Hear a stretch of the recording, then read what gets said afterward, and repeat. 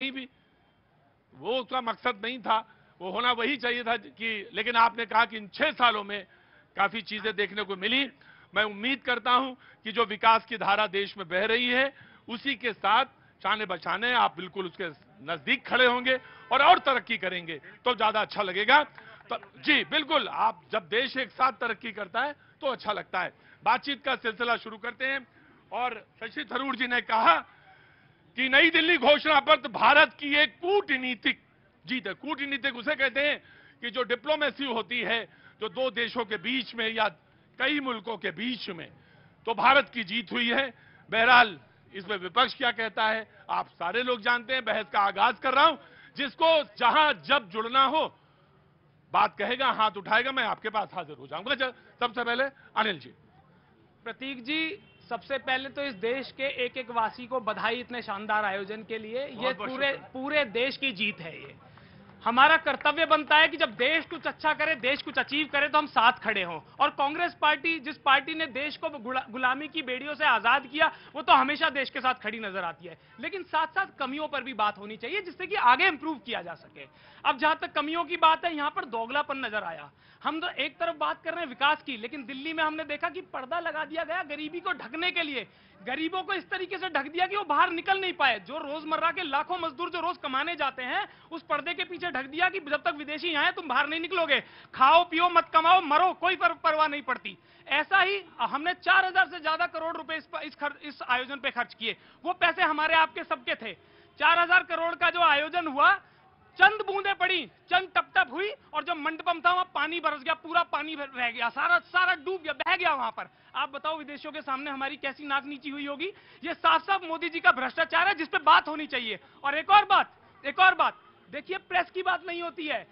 वहाँ पर वहाँ पर जब हमारा साइन हो रहा था 78 पैरा में ये लिखा गया कि भाई ठीक है, हमें एक दूसरे के धर्म का सम्मान करना चाहिए, फ्रीडम ऑफ़ एक्सप्रेशन का सम्मान करना चाहिए, लेकिन आपको जानकर बड़ा दुख होगा कि जब दुनिया भर के देश के राष्ट्राध्यक्ष यहाँ आए तो हमारे प्रधानमंत्री जी ने हमारी मीडिया को तो छोड़िए, उनको तो बोलने देते ही नहीं है। यूएस की मीडिया तक को बोलने का मौका नहीं दिया, और वियतनाम में यूएस के प्रेसिडेंट ने ये बातें कहीं भी यहाँ पर।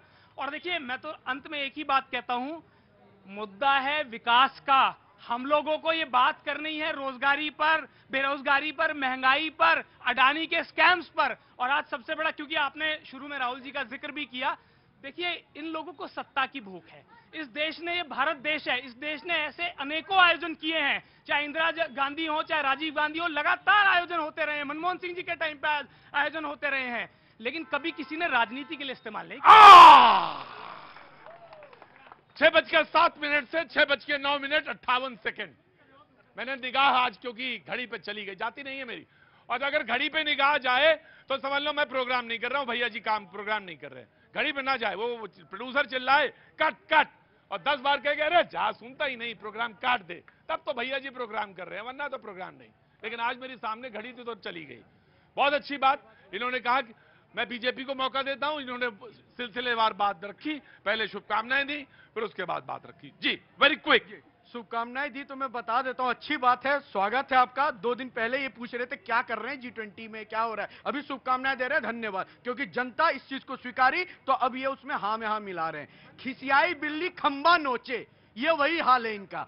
इस तरह खिसियाए पड़े हैं देखकर कि ये कुछ भी बोले, करें कि पर्दा लगा दिए, ढक दिए, रोक दिए। आपके घर में शादी होती है तो समियाना नहीं लगाते हैं कि वहाँ पे उजागर करके रखते हैं, अपने फटेहाल स्थिति को बताते हैं। ये देश ये देश में इतना बड़ा कार्य देखिए, बीच में नहीं बोला था, आपके अच्छे संस्कार को लाइए पहले। इस देश में जब इतना बड़ा कार्यक्रम हो रहा है तो ये चाहते मत करो, मत सजाओ, क्योंकि राष्ट्र निर्माण कभी सोचा नहीं। हमेशा परिवार निर्माण सोचा, जिन्होंने हमेशा परिवार निर्माण सोचा है, वो राष्ट्र निर्माण के कतई नहीं समझ सकते। और एक बात जो मतलब के महल बनते हैं वो टिकते नहीं टूट जाते हैं। इनके अधीर रंजन चौधरी को दिक्कत हो गई। राजनीति कब जो हो गया ममता बनर्जी डिनर में जो पहुँच गई तो उस पर स्टेटमेंट दे रहे हैं। नहीं जाना चाहिए था। क्यों नहीं जाना? नहीं बेकार गई अरे भैया क्यों नहीं जाना चाहिए था? वो क्या भाजपा का आयोजन था? कमल फूल लगा के उनको